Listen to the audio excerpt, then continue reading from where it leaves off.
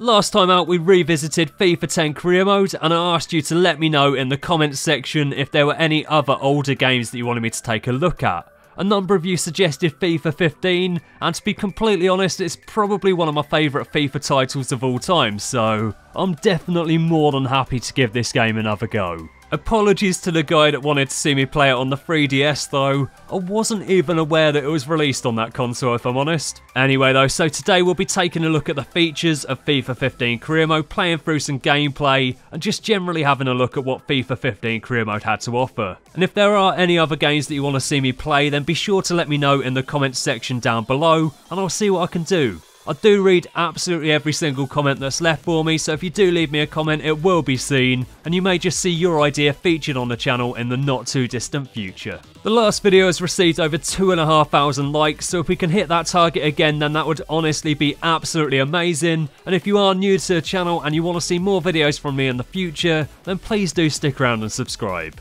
Messi was the main man back in FIFA 15, Piemonte Calcio thankfully weren't yet a thing, but how did career mode handle? That's what we'll be taking a look at today. Before we get into that though, I just want to say a massive thank you to OneFootball for sponsoring today's video. The OneFootball app is available for both iOS and Android, and through the app you can follow all of your favourite clubs, competitions and players, receiving the latest news and updates as and when they happen.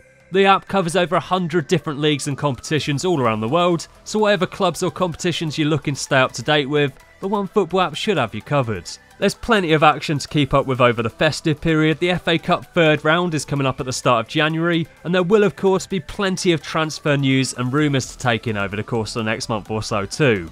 I've been using OneFootball for the past couple of years now. I use the app pretty much every day, and personally, I find it to be incredibly useful for staying up to date with all of the latest news and action. As I said before, the OneFootball app covers plenty of different leagues and competitions all throughout the world, and the great news is that it's completely free to download. So if you haven't already got it installed on your phone, then there's no real reason not to at least try it out. There'll be a link to the app in the description down below, and I highly recommend checking it out and giving the app a go. Massive thanks to them once again for sponsoring today's video. Let's get into it though, and let's take a look at what FIFA 15 Career Mode has to offer. Right then, so my team of choice is going to be Real Madrid. Some of you may remember if you're absolute OGs, but I did a series with Real Madrid in FIFA 15 Career Mode, had a lot of fun with it. And for today's video, we're going to be revisiting it. We're going to play FIFA 15 Career Mode with Real Madrid, and hopefully we'll have a lot of fun. Customization options weren't exactly the best back in FIFA 15. We could choose a tracksuit, a suit, or a shirt and tie. We could have it grey or navy, no other colours whatsoever.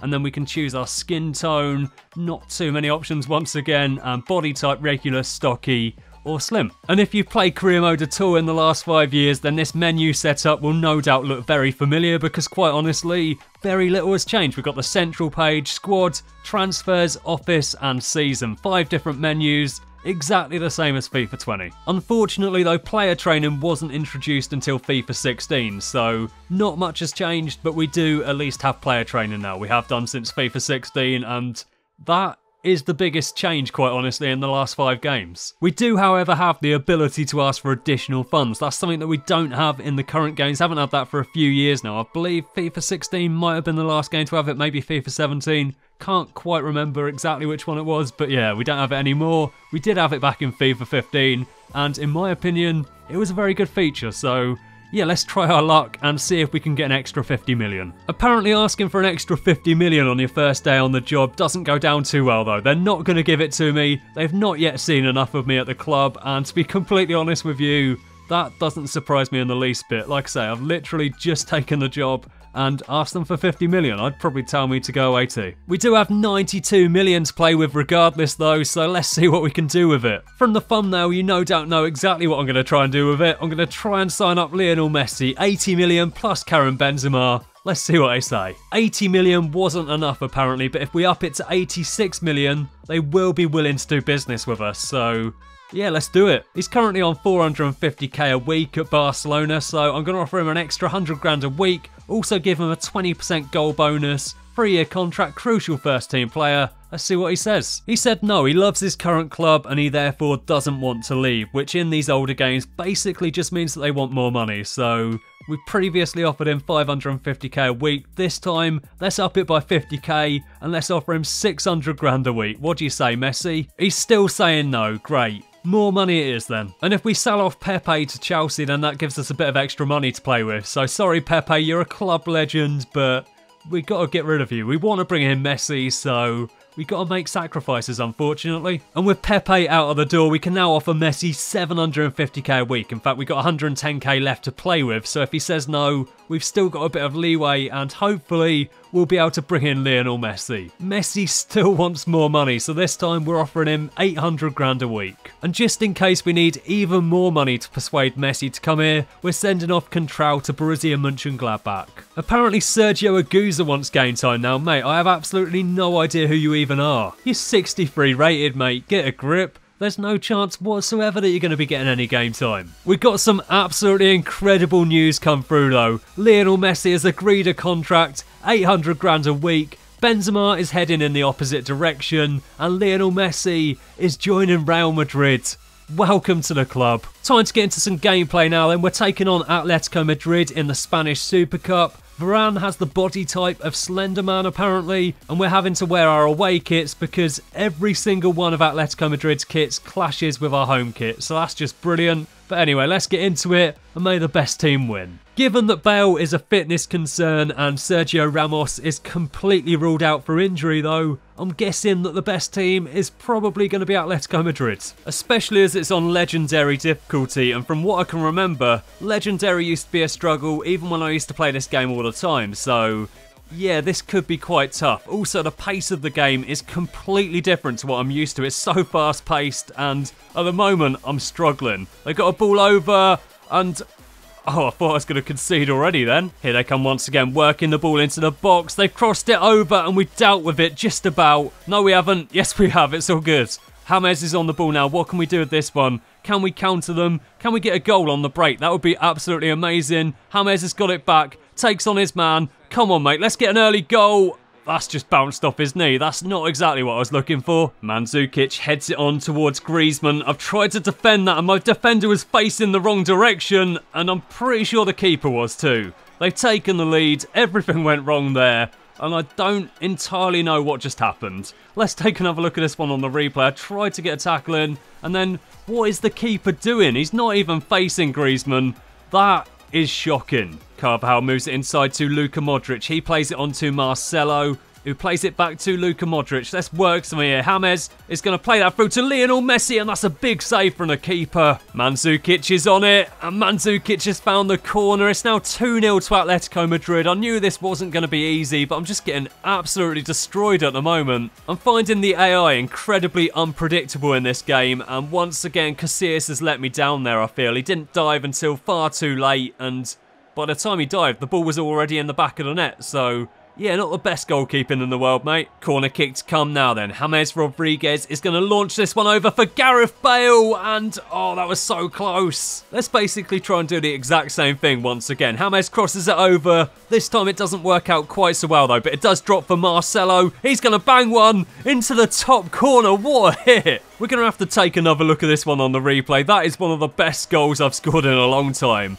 Marcelo absolutely thunders it into the top corner. The keeper had no chance there whatsoever. And we got a goal back just before half time. It's now 2-1 and there's everything still to play for in the second half. So we're 2-1 down at the break, and so far Atletico Madrid have only had two shots on target. The first one, Casillas was looking the wrong direction. The second one, he dived after the ball was already in the back of the net. So, yeah, so far I've not really been too impressed with him. And I also wasn't really too impressed with Cristiano Ronaldo. We had him out on the wing in that first half and he was fairly anonymous, so putting him up top for the second half, Messi's playing just behind him, and hopefully the pair of them can do some serious damage. So yeah, let's get into the second half, and let's see if we can turn this one around. James Rodriguez is on the corner once again. We've done pretty well from corners so far, so I'm feeling fairly confident, and yeah, that was terrible. And now they've scored once again. I was struggling at the back, wasn't quite sure what to do, and they've capitalised on the situation. They smashed it into the back of the net, and once again, they got a two-goal lead.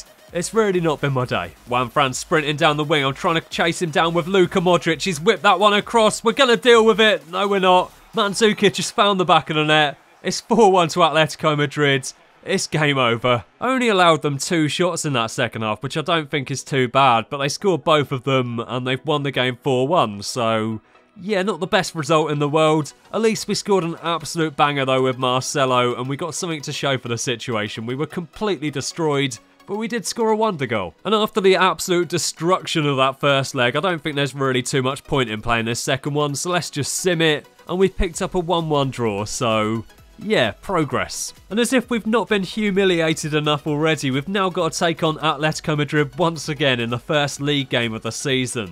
We're going to wear the home kit for this one. We'll also put them in their home strip and hopefully it won't be too much of a clash. And it's probably fairly obvious why I've done this, but I've dropped the difficulty down from legendary to world class, so yeah, hopefully this time we won't get absolutely annihilated and we might stand half a chance. Carvajal's going to move this one out wide to Gareth Bale. He looks down the line to Tony Kroos, turns it back, does a nice little fake shot, plays it back to Gareth Bale. He's looking for support, moves it over to Luka Modric. Can we work something here? James Rodriguez is on it. That's a horrible shot. Okay, maybe not then. He's found the top corner. I thought he'd absolutely ballooned it for a second. I went for the finesse shot. Looked like it was going to keep rising, but no. Came back down again, and that is a beautiful goal right there. Look, from the way it was travelling, I thought it was just going to keep rising into the stand, but nope. Beautiful goal finds the top corner, and it's now 1-0 to Real Madrid. What an effort from James Rodriguez, and we just keep scoring absolute bangers. Don't let them score here, lads, so we've only just taken the lead. They've gone through with Mario Mandzukic, and he's found the corner of the net. It's now 1-1, and I'm honestly feeling seriously deflated. I thought we had a chance here, but we've instantly thrown away the lead, and it's all gone horribly wrong straight from kickoff. They've taken it right through our defence. I didn't defend that at all well, and they've taken full advantage. Tony Kroos plays it through to James Rodriguez, who finds Cristiano Ronaldo, and he's taken out someone in the crowd with that one. Terrible shot. And I can't help but feel that the only reason they're showing a replay of that is to mock me about how terrible that was. They've not really done too much in that first half. They only had one shot. They did score it though, and as it stands, the score is completely level. Anyway though, let's get into the second half and let's hope that they don't take another shot because if they do, it's probably going to find the back of the net. They seem to be resorting to absolute hoofball tactics at this point. Giménez is on it, launches it long, and he launches it straight to Casillas. Not great from Atletico Madrid at the moment. Let's try and kick off a counter-attack. That was a bit dodgy.